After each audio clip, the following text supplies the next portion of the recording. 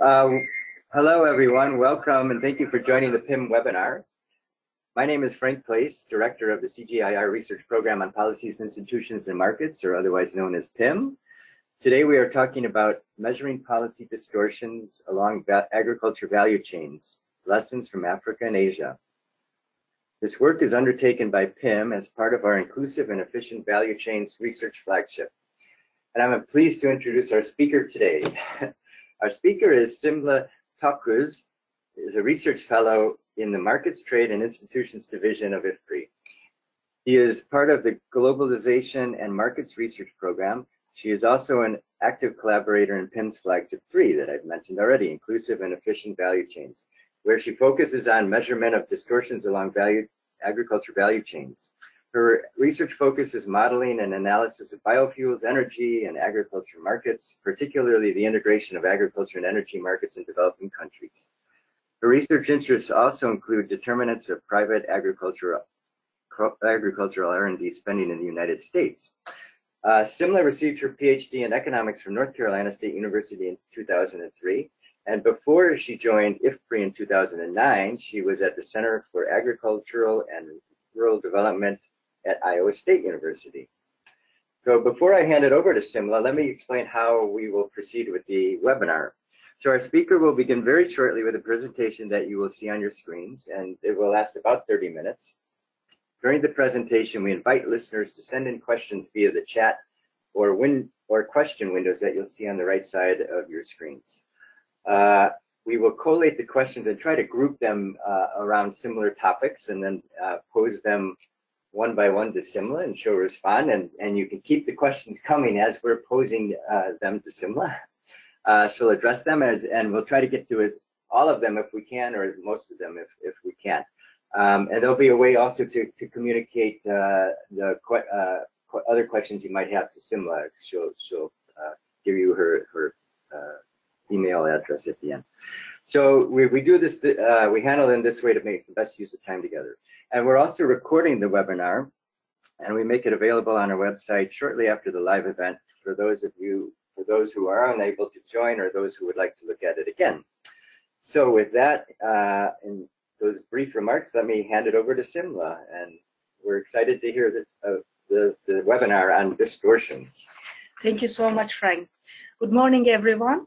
I'm Simla Tokgoz uh, from IFPRI. Today, I will be presenting some lessons we have learned from four studies that we have conducted within the PIM uh, value chain program. We focus on Ethiopia, India, Nigeria, and Tanzania, and we have analyzed nine different agricultural value chains.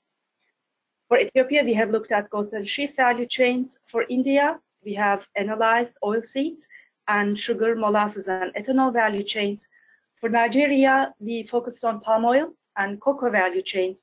And for Tanzania, we analyzed maize and groundnut value chains.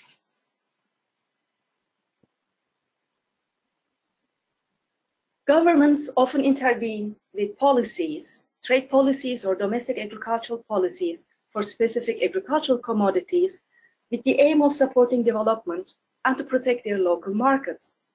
Although these policies are geared towards a specific agricultural commodity in most of the cases, they impact actually all economic agents along the complete value chain of that commodity with important implications for smallholder farmers.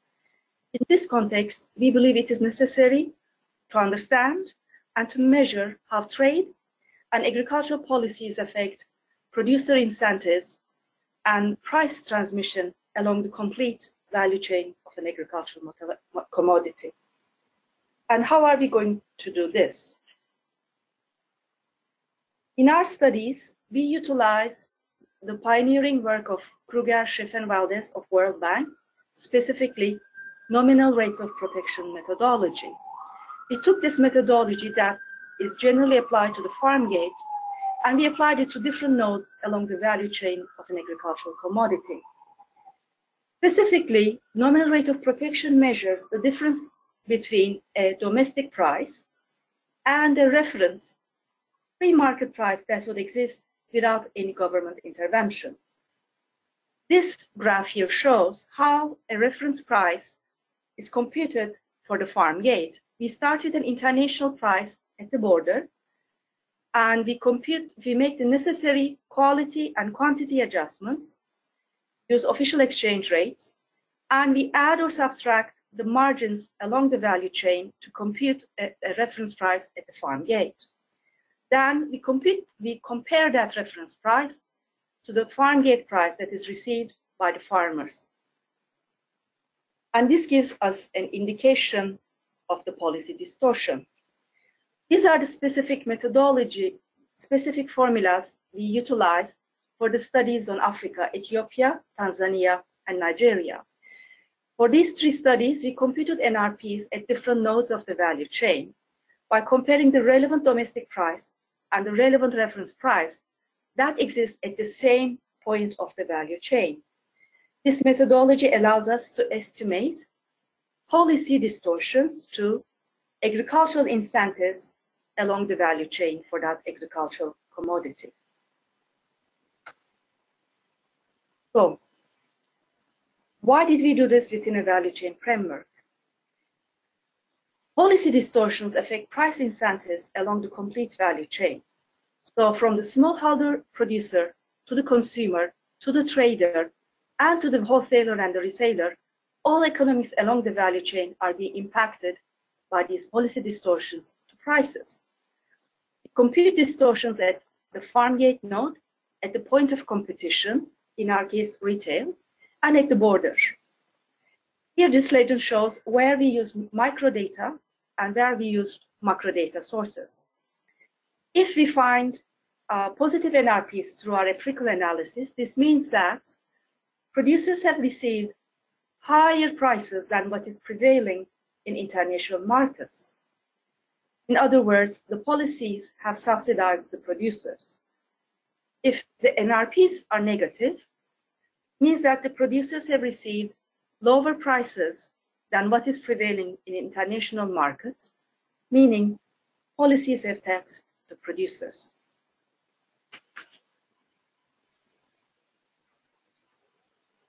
So let's start with the Tanzania study.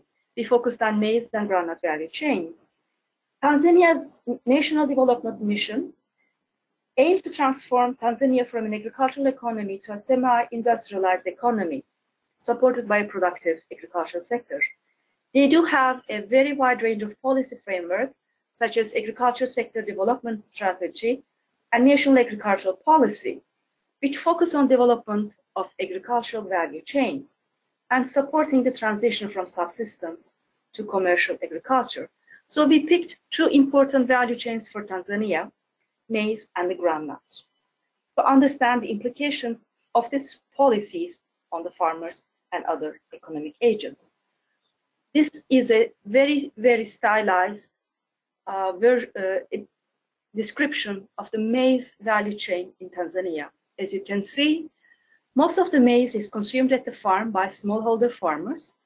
A portion of that is being sold in secondary markets to traders or other uh, middlemen. In the urban market, either the millers buy the maize and produce maize flour and sell it to consumers, or consumers in some cases buy the grain themselves and, and do the maize flour or just eat the grain. There is an export market of maize in Tanzania. However, it is characterized by a lot of export bans and export taxes. There's a small feed sector that is being that's being grown, and there is recently some efforts to create stocks of maize through NFRA and the World Food Program. Let's start with our results at the border. This, is, this graph shows the nominal rates of protection at the border for maize and maize flour. In our study period between 2006 and 2012 marketing years, Tanzania varies between a net exporter and a net importer for maize and maize flour in different years. The border NRPs for maize vary between positive and negative in our study period. But these results, we believe, imply an anti-trade bias. Then Tanzania is a net importer. In the years that Tanzania is a net importer of maize, these imports face a tariff. Thus, we see positive NRPs in most of the years that Tanzania is a net importer of maize. That Tanzania is a net exporter of maize, it faces disincentives in the form of bans or taxes. Thus, we notice we have a lot of negative NRPs in most of the years during which maize is exported, which we believe implies some anti-trade uh, bias in Tanzanian maize markets. For the maize flour, all border NRPs are negative and in all study period. Maize flour, Tanzania is a net importer for three years and a net exporter for the rest of the period, and we have negative NRPs. For years during which Tanzania is a net exporter, this is expected, which is in line with the situation in the maize value chain because the value chain, the processing of maize is not much developed. But we were surprised by the negative NRPs for years during which Tanzania is a net exporter, net importer. And how does this impact the farmers? In our studies, we try to generate compute NRPs at the farm gate as spatially disaggregated as possible. So we computed NRPs not for Tanzania on average, but for different regions. We also separated our study into regions with the long rainy season and the regions with the short rainy season. These are the maize NRPs at the farm gate for the short rainy season, and they are the ones for the long rainy season. And as you can see, in three years for which we have farm gate NRPs, for both uh, seasons and in most of the regions, we have negative NRPs. For the two years at the beginning, 2008 and 2010 marketing year, we have Tanzania as a net importer in terms of trade status, and there is positive NRP at the border. However, in these years, we see that the farm gate NRP is negative in most regions. Although import tariffs provide support to maize farmers by increasing the price of the maize entering the country, these policies are not enough to protect farmers from the disincentives in the domestic maize market, which reverberate to the farm gate. In the last year of 2012, again, we have negative NRPs in most regions and in both seasons. In that year, Tanzania is a net exporter of maize as a trade status, and we have negative border NRPs. This shows that in this year, the disincentives in the export market are having effects in the domestic market and lowering the prices that the farmers receive. So there is some anti-trade bias which is negatively affecting the Tanzanian farmers. Let's look at the groundnut value chain in Tanzania. Most of the groundnut farmers are smallholder farmers even if they sell it to other in secondary markets to other traders and middlemen, there's really minimal shelling that is being done by them. Uh, in the urban market, there is some processing of groundnuts into groundnut oil. However, the processing facilities are quite low in number, and there's very little groundnut oil being produced in Tanzania. So we have an underdeveloped groundnut value chain. And what do the policy implications show us? The NRPs at the border for groundnuts and groundnut oil are negative in all years, regardless of what the trade status is for these two commodities. So Tanzania is a net importer and a net exporter depending on the year of the study. The negative NRPs during the net exporting years show that Tanzanian exporters receive less than world market prices but in groundnut market, we have minimal or no export taxes. And these negative NRPs, we believe, imply structural problems in the groundnut export market. The negative groundnut border NRPs in the net importing years show that Tanzania paid less than world market prices for groundnut imports. These, we believe, are because of the preferential groundnut import tariffs for Eastern Africa community countries with which Tanzania trades. So we have, they pay lower prices. For the years during which Tanzania is a net exporter of groundnut oil, the border NRPs are negative. Tanzania has not yet developed the processing and marketing stages of the groundnut value chain. So we believe this is because of the inefficiencies in the value chain that create disincentives in the export markets for groundnut oil. And how do these affect the farmers? Again, here we are showing the long rainy season regions for groundnut NRPs. We do not have results for short rainy season because most of the production is done in the long rainy season regions. And they are negative in all three years of the study for the farm gate NRP for all regions. During those three years, 2008, 2010, 2012, Tanzania is a net exporter of groundnuts, exporter of groundnut, groundnuts with negative border NRPs. And we can see the implications of that for the negative NRPs for the farmers. This suggests that disincentives in the export market reverberate through the domestic market and negatively impact farmers by reducing the prices that they receive for their groundnut. There's a high variation in Tanzania across regions for these maize and groundnut NRPs. To sum up very quickly, the anti-trade policy, anti-trade bias in policy hurts the farmers, especially in, in maize. It leads to lower profit margins for the farmers. There are disincentives in the export markets, which reduce the prices they receive relative to the international market prices. So let's look at Nigeria. Palm oil is an import-oriented sector in Nigeria, and cocoa, cocoa value chain is an export-oriented sector. There is renewed focus in supporting agricultural development, including agricultural transformation agenda and agricultural promotion policy. These two sectors comprise an important share of Nigeria's agricultural sector and they affect smallholder farmers. For the palm oil value chain, they have different qualities of palm oil. So the palm oil value chain is kind of segmented with lower quality technical palm oil, high quality special palm oil, and palm kernel seed oil. This is being sold for different purposes to households, either for food or non-food consumption. And they do import palm oil, although they do have quite a lot of uh, domestic production. As Nigeria is a net importer of palm oil with import tariffs imposed, the price that's entering the palm oil domestic market is high. This is shown in the positive border NRPs for the palm oil. These NRPs, when we compare them, are higher than the import tariffs, showing that importers have paid higher prices for palm oil, even though they account for the tariff, than what is prevailing in international markets. This could be due to some informal trade or structural problems created by traders in our study period. So what does this mean for the farmers? Palm oil NRPs at the farm gate are negative for all the regions. Again, similar to Tanzania, we see a wide variation for NRPs for different regions.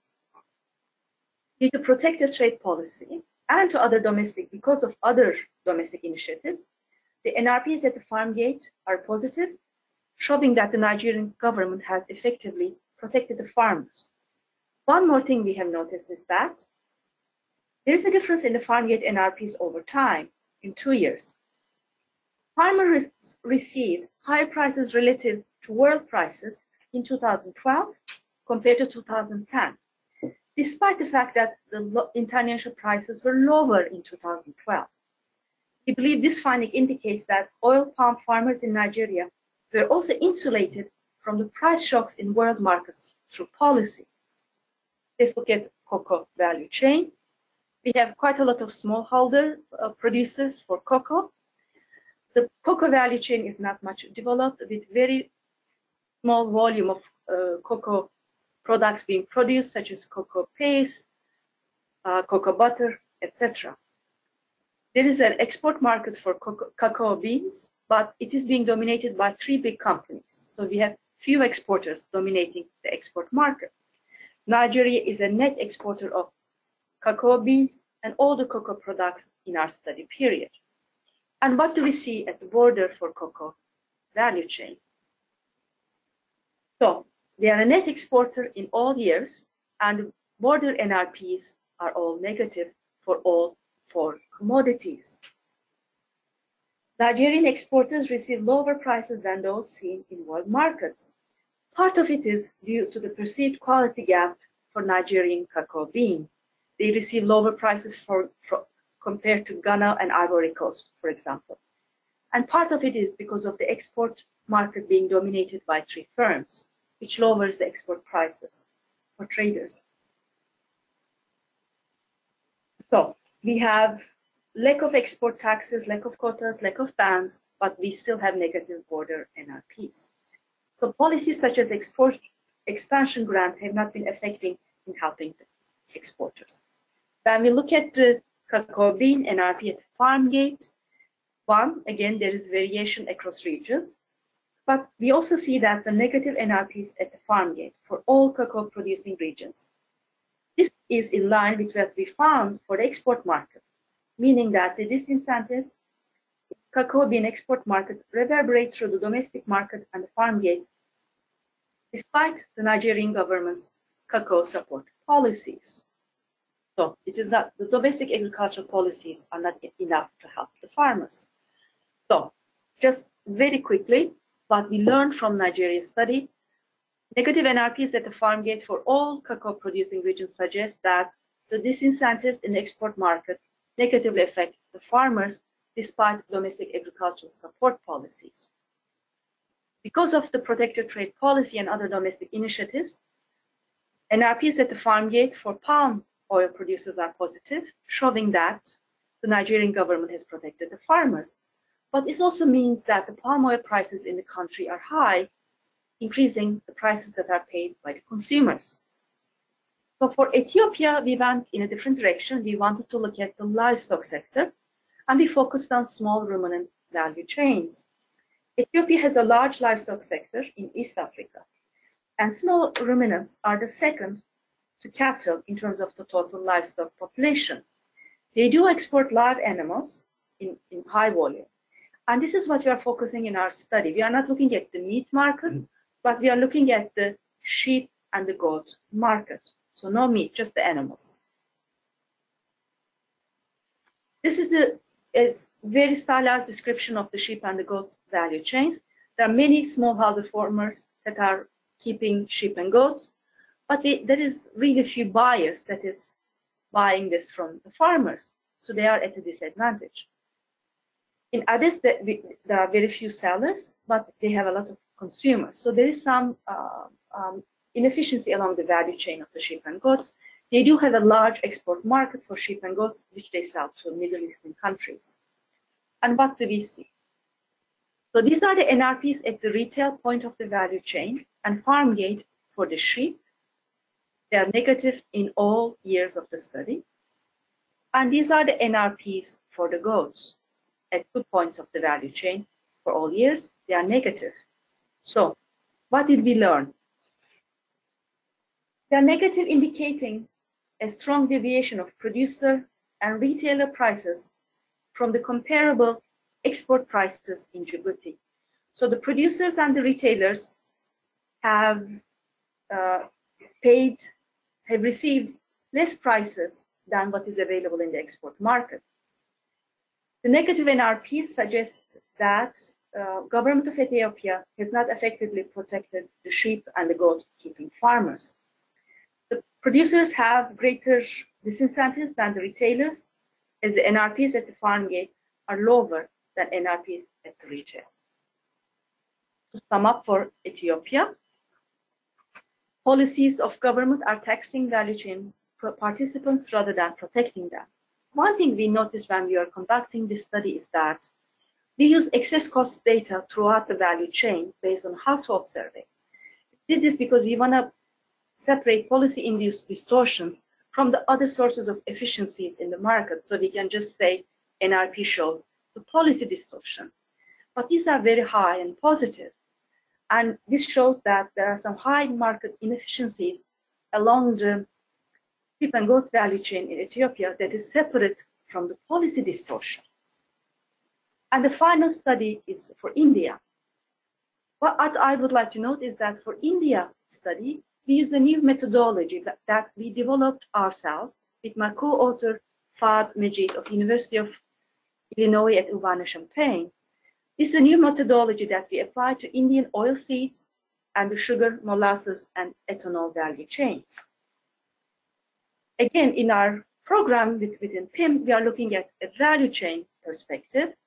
So we wanted to ask ourselves, what else can we do to understand the value chain and how policies impact the value chain? He extended the nominal rate of protection methodology to a value chain framework. And we knew that there are different types of value chains, so we wanted it to be very flexible. This methodology can be applied to a new value chain created by policy such as the ethanol market in India that's being created by the ethanol mandate, a value chain in which a byproduct is created in the processing of a commodity. For example, molasses is a byproduct when you're producing sugar from sugarcane, or a value chain in which processing of a commodity generates new products, such as when you process rapeseed, you generate rapeseed meal and oil. But it should be noted that in agricultural sector, not all commodities are tradable.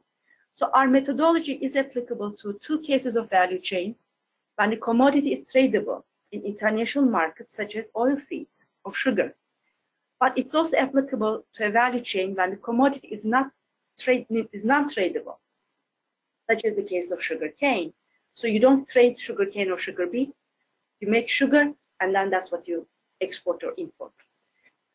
So this is a very, very simple, simple example of our methodology. Please go back to the original article in Journal of Agricultural Economics for the details. He created what we call a value chain NRP. It integrates the NRP of the raw commodity with the NRP of the downstream products. If you look at the first formula, you will see that we have taken the prices of the downstream products such as oil and meal and we converted them into their seed equivalent using an input-output coefficient.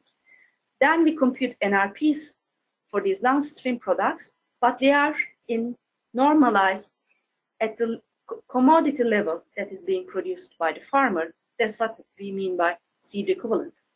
Then we add the value chain NRP for these downstream products with the NRP of the original raw commodity and to get the value chain NRP. This can be added because they are in the same unit. They are all normalized at the commodity that the farmer is producing. We believe it shows us an aggregate measure of all policy impacts on the commodities in the value chain, and it makes it possible to compare and contrast the impacts of policy on different economic agents along the value chain, and it does that in a very consistent manner. Let me explain our methodology by showing you some results. This is the value chain NRP for the ethanol, molasses, sugar, sugarcane value chain. So you'll see two graphs in here, which is the result in sugarcane equivalent and the results in sugar equivalent. The reason for that is when we looked at data at different states in India, part of the farm gate prices were in sugarcane, for sugar was were for sugarcane, and part of them were for sugar. So we wanted to create a consistent methodology that you can compare across. So we converted part of the downstream products to sugar and part of them to the sugarcane equivalent. The results show us that both sugarcane producers and sugar mills are protected, but sugar mills are protected at much higher rates. So gains are not evenly distributed among value chain agents. Producers of the downstream products are, are taxed. The molasses value chain NRP is negative, indicating the molasses sector is not protected, it is taxed. This is due to much lower domestic molasses prices than international molasses prices.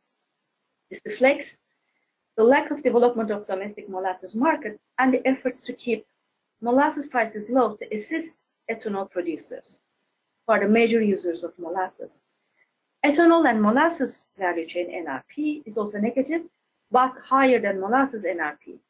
This shows that both molasses and ethanol markets are disincentivized in India, but that taxation is lower for ethanol than for molasses. The ethanol price in India is fixed by legislation below international prices because they are trying to benefit consumers of ethanol, which are refiners and blenders. The net subsidization of this value chain, which is positive, it's at the end of the graph, molasses commodity value chain NRP and ethanol molasses commodity value chain NRP. Those are positive, but that's because of the much higher subsidization of sugar and sugarcane producers. For the oilseeds value chain, we have groundnut and rapeseed studies. They show that oilseed producers have been subsidized by the government. So we have positive groundnut and rapeseed NRPs. But at the same time, we also see that meal and oil value chain NRPs are positive, and in the case of rapeseed, quite high.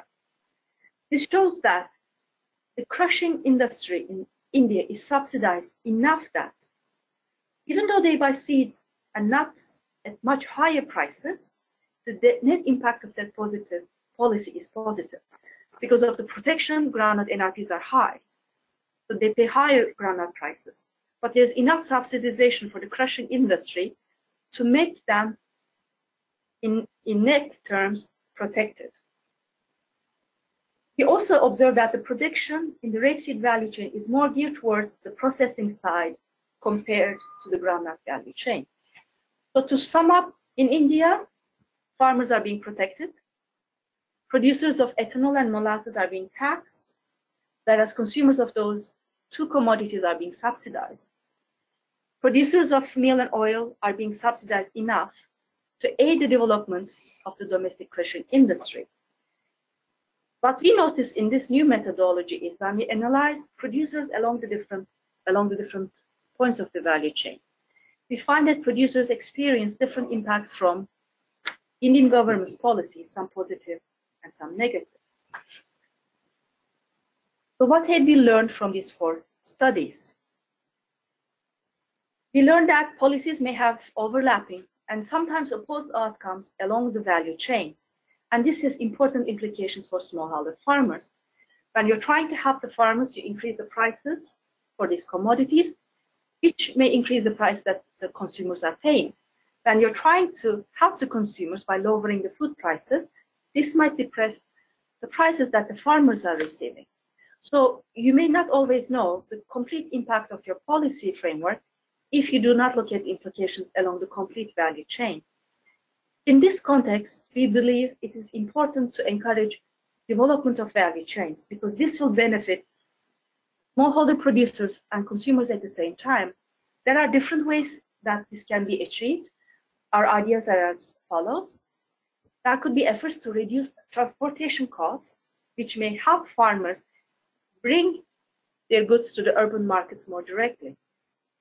This will lower the prices that consumers pay and increase the prices that farmers receive. A, on a similar venue, reducing margins received by middlemen and traders along the value chain would increase the prices received by the farmers and reduce the prices paid for the, by the consumers are important for all economic agents. When we looked at the processed goods, downstream value chain products, notice that they were not much developed in Africa by aiding the development of processing facilities that produce downstream products domestically, rather than importing them, would help the consumers for maize flour, palm oil, groundnut oil, etc. And we believe when you analyze policy distortions along the different nodes of the value chain, the policymakers can decide better where to focus interventions.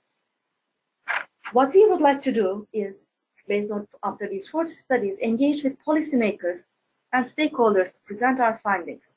And we are conducting some reaching out efforts to show what we have found.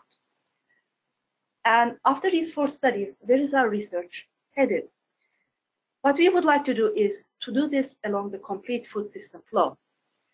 We would like to connect food system flow from the producer to the consumer, including all of them, by linking micro and macro data. To do this along a complete food system flow, you need a wide range of both micro data and the macro data. And in order to use the, these two types of data consistently, you need data interoperability. And that's where we believe ontology comes into play. We would like to combine a value chain analysis with ontology and with big data in order to expand this analysis to a complete food system flow. We believe the big data, especially the big data platform of CGIAR, and the ontology practice can help in a more comprehensive analysis of policy distortions along agricultural value chains. Thank you so much for your time and your interest. So we are ready for your questions. yeah, thank you very much, Simla. Um, we're, while we're trying to collect some questions, let me just start off with a couple around the, the methods, and then we'll move on to the findings and the implications perhaps as we go. But you know, so your your your analyses rely a lot on the collection of good high quality data on prices and uh, at, at different levels. And so we have farm gate prices, middlemen, sometimes you have retail sectors and the border prices. And in some cases, uh, let's say at the farm gate, there's could be millions of possible data points uh, out there. And then you know you get fewer and fewer. So I was wondering if you could take us through how in the different countries you're able to collect uh, prices that give you a good uh, overall aggregation of what's happening in the country?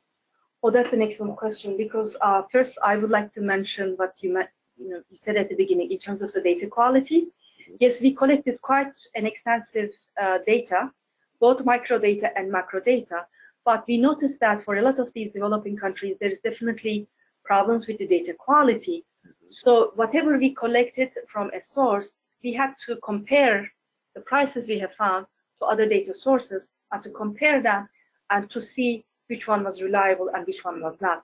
In certain cases where they were saying different things, and if we had three data sources from them, we went with the two data sources that are consistent with each other. So basically for Tanzania and Nigeria, for the farm gate prices, we use LSMS data of World Bank. So they do provide uh, quite uh, disaggregated data, especially spatially for different regions. But the time series is that is either three years or four years. And we took the LSMS data, we had to conduct sensitivity analysis and some cleaning to come up. For example, in Tanzania, we knew from the climate uh, or weather maps uh, through uh, FEWS NET which region is long rainy season, which region is short rainy season. So we had to clean up when the prices were mislabeled. Uh, later on, with the LSMS data, we compared them to national statistics for Tanz published by Tanzanian and Nigerian government. Um, in certain cases, such as Nigeria, we went to ICO for cocoa bean prices, compared them to LSMS data. We went to CIFOR prices to compare them to palm oil prices from LSMS. For Ethiopia, we relied, relied on an excellent survey, household survey uh, done by ICARDA. Our partner in for the Ethiopia study is Girma Kassie from ICARDA, and he had a household survey. So we knew that the microdata collect, we collected was reliable. For India, we relied on Government of India dataset, but we did a lot of data cleaning. Mm. That's for the macro data, micro data. And for the micro macro data, we relied on FAO stats, World Bank, UN Comtrade, um, Eurostat, USDA, and other data sources. For the margins along the value chain, for uh, Tanzania and uh, Tanzania, we found an excellent Bill and Melinda Gates Foundation technical report that publishes these margins. For uh, Nigeria, we used, uh, for Nigeria, India, and for uh, Ethiopia, we computed the excess costs along the margins ourselves. But especially the data process was very um, time consuming because of the data quality issues that we encountered. The other part was that's why we are moving on to ontology after this, is to link the price data from the micro component to the um, price data at the macro component. As you can see in this graph, you know, what the farmer produces is maybe a maize cob or maize kernel, and that's what you will see in the LSMS data labeling. But throughout the value chain, either it is being classified under a different food classification, or it is being processed and it's becoming a maize flour or maize oil, or the consumers are producing ugali and tortillas. So you need to be able to use them in a consistent manner and map them to each other. And we did that, but without the help of ontology, it was difficult. So in the next step, we will take advantage of ontology. So I want to say it's not enough that you have data, but you need to really look at the data quality and also look at the data labels, which is ontology, in order to do this in a consistent manner. Right. Yeah, that's great. And um, maybe just related to that, just one, one other quick question is that, is there a difference in the ease of finding high quality data depending on the commodity? Because um, you, you I, I really appreciated that you covered many different kinds of commodities in these four, four countries. Oh, so for, for example, for maize, of course, it was very easy to find maize data for Tanzania or for the macroeconomic data. And for um, as a commodity, if you're looking at that, but we had quite a lot of problem finding groundnut data.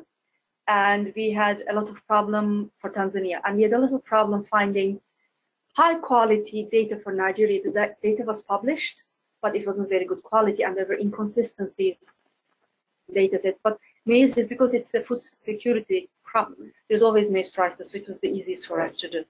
And India publishes so much data which is in English, so it was mm. much, much easier. Oh, good.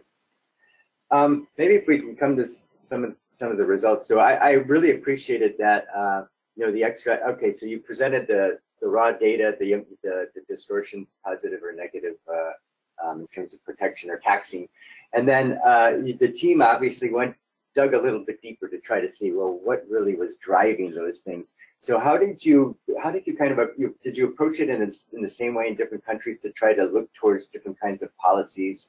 You, know, you refer quite a bit to uh, export and uh, trade policies, but also domestic uh, program support policies.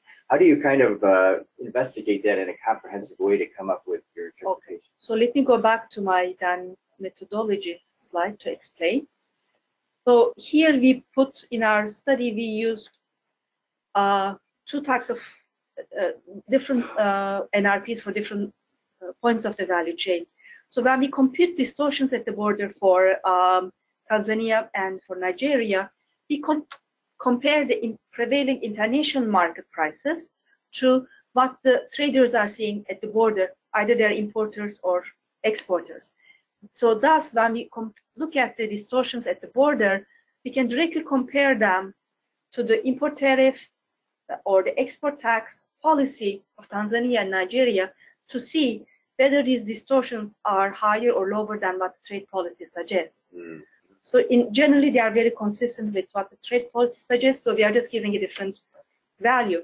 But in certain cases, although we were we try to do this as correctly as we can, it is, we believe, showing market structural problems. For example, if the export market is dominated by three term, three firms, you're going to show that the policy distortions at the border are going to be different than the trade policy because of the structural problem. Then you're looking, then for the distortions at the border, you're looking at the trade policy.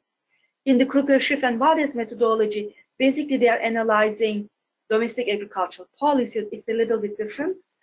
And in MAFAP, for example, FAO MAFAP, they are looking at distortions at farm gate and distortions at point of competition. For those things, then you're comparing them to what the domestic agricultural policy is. However, these distortions are showing you not the impact of a specific policy, but the impact of all domestic policies at that point of the value chain.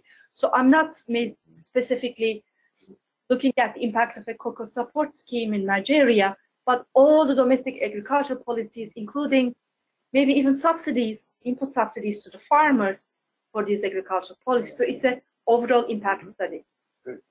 Great. So we had a, a, a specific question related to this, uh, trying to understand the results.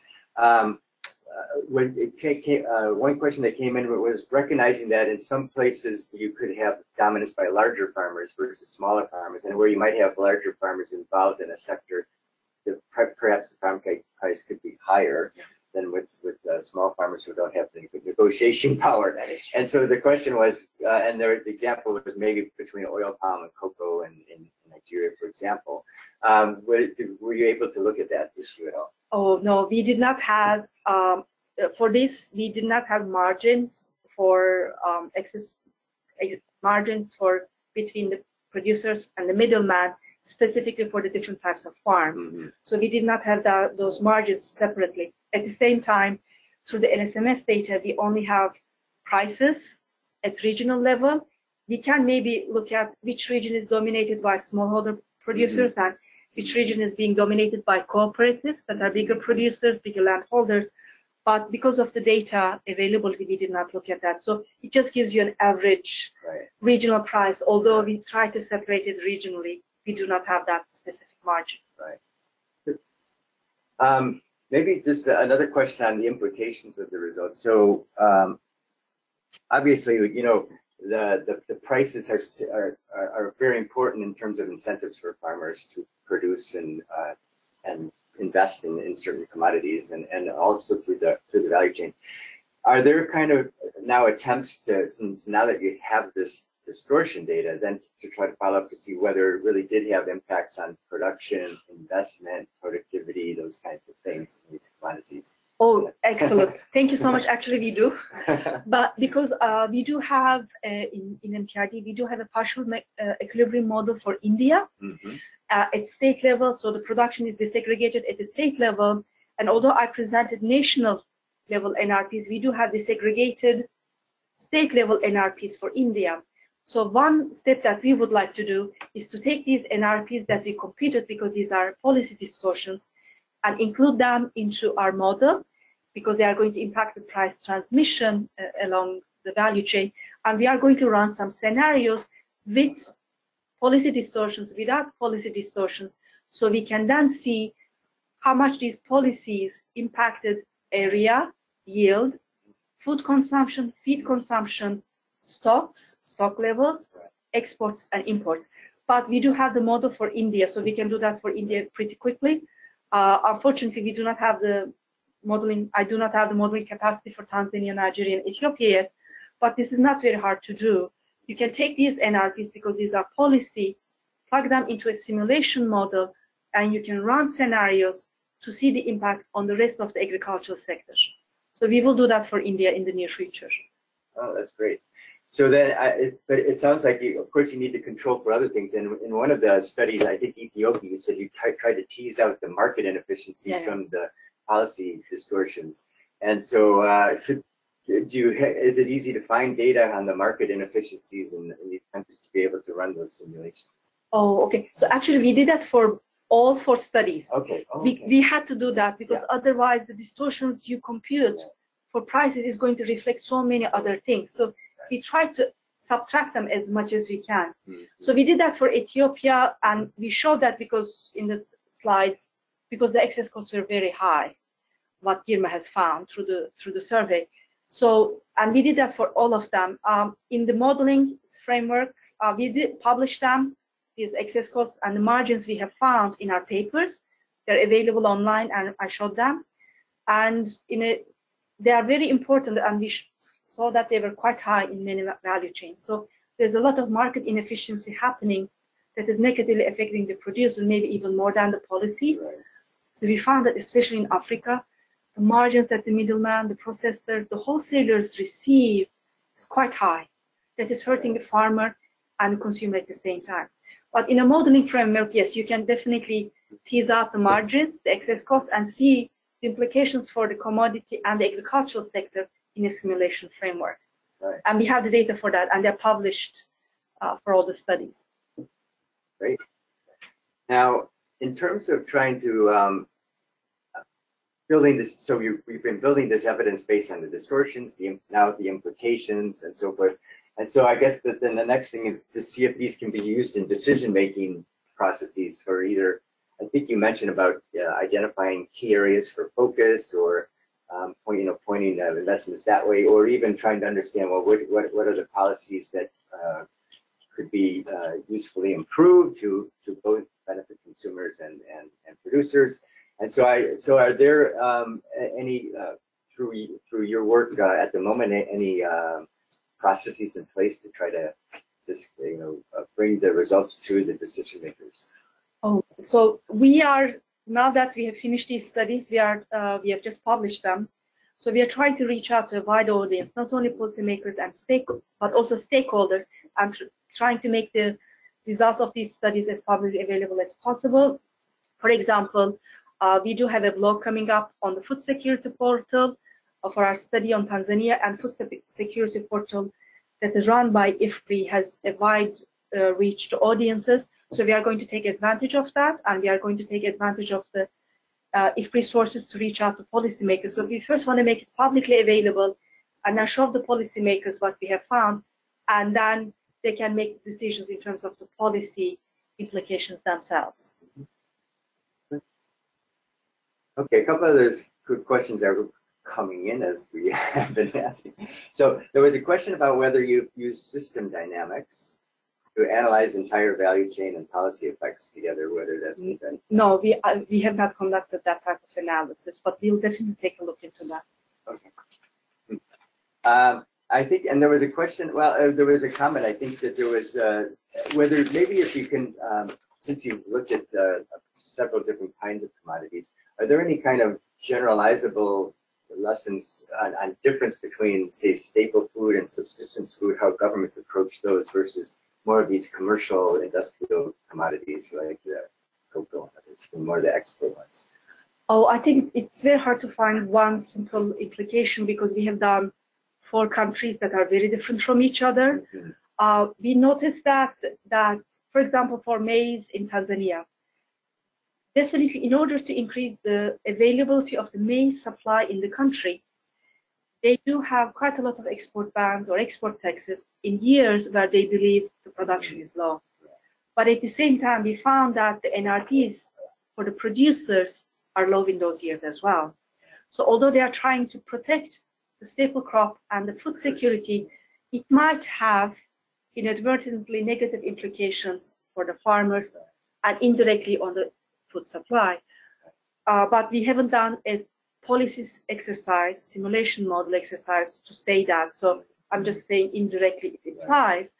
But we noticed that especially for commodities such as cocoa beans, where uh, Nigeria is exporting, but they have not developed their downstream value chains, they can definitely produce cocoa paste, cocoa paste, cocoa butter, and chocolate or other types of uh, byproducts domestically and export them in higher volume rather than exporting the cocoa beans. Because in the end, they export cocoa beans, they are being processed somewhere else, and they import quite a lot of cocoa butter and cocoa paste. So this is not very good for them. So we believe that we have learned that really um, promoting development of the domestic agricultural value chain is much better for the countries, such as being done for the crushing industry subsidization in India, because they want to produce the meal and oil themselves domestically rather than just export the soybean, rapeseed, and groundnut. So they want to pr protect it so that it is being developed. And actually, this is the case for what's happening in the soybean markets in China. They really want to import soybeans and then develop the crushing industry and mm, produce the soybean meal and soybean oil themselves. So we believe this is the way to go. But again, this is our interpretation of the results, and other people may disagree. Mhm. Oh, very good. I, was- I was one also struck by some of the results that show a lot of, in, you know, variation over time. As you say, whether they're, like you say, whether they flip from being net, net exporters and importers, there's some changes in shifts in policies. That is true. And there could be other reasons why governments are shifting in policies. And that instability itself, I wonder if, is that something also that you look at and, and, and can that instability itself kind of uh, be a hindrance and a roadblock to investment? Oh, that's an excellent question. Because in part, we looked at why we had so much volatility. And part of it was the NRPs changed over time because the trade status changed. So from export tax, you are going into an import tariff, for example, on average. But part of it was because of the, if I'm being honest, volatility in international markets. Some countries, such as Nigeria and palm oil, insulated their farmers from the volatility in international markets through different policies. And in some cases, they were not able to uh, insulate them. So there is this component of international market volatility that is being transferred to farmers or not. So that's what has happened because in our study period, because of the shortness of the LSMS data, which is like three years or four years, uh, it's very hard for us to say what's happening in terms of time series properties of these studies, but there are other institutions that do publish these um, agricultural policies uh, on a daily, on an annual basis, such as OECD, FAO, MAFAP, and Inter-American Development Bank. We also have uh, within PIM, Ag-Incentives projects, which is combining these international organizations databases. Ag-Incentives is part of the PIM value chain program. So our, read, our viewers or readers can go to these websites and take a look at them to see what's happening over the longer term. So I want to plug in Ag-Incentives one more time. Very good.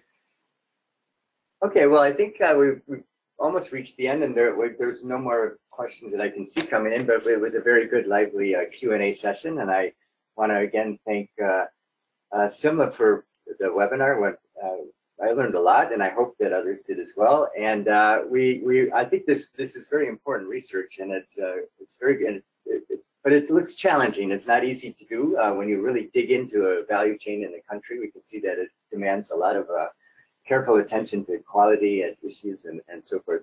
Um, so, but we we hope that we can uh, that these results uh, do reach uh, decision makers and also help to influence our colleagues in the CG to to look at and focus some of their attention on some of these priority areas where we're, we're we're seeing high distortions uh, and implications. So thank you uh, once again, Simla, and thanks to everybody for participating. And we will have, uh, stay tuned because uh, you'll see uh, invitations to uh, a few other webinars before the, the end of the year. So thank you very much.